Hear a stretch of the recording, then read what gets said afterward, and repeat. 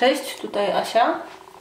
Dzisiaj zaprezentuję Wam mm, recenzję maskary Volumizer 2 w jednym. To jest efekt 3, 3D mm, z AliExpress za 57 centów. Tutaj mamy tak odkręcone.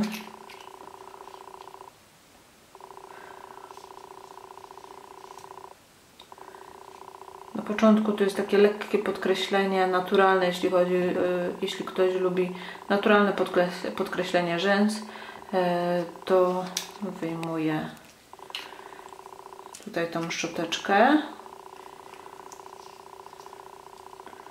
A tutaj jest więcej mm, na tej szczoteczce e, tuszu do rzęs. Znaczy się tak, to jest jedna i ta sama szczoteczka, tylko po prostu są szerszy i węższy otwór. Jeszcze raz tutaj pokażę.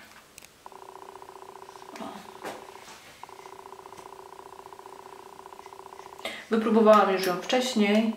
Powiem tak, dla mnie szału nie ma. Powiedzmy jeden z najtańszych e, maskar z drogerii jest lepszy niż to, jak dla mnie osobiście. Ale dosyć fajnie się zmywa płynem micelarnym. Dodaje taki dosyć naturalny efekt.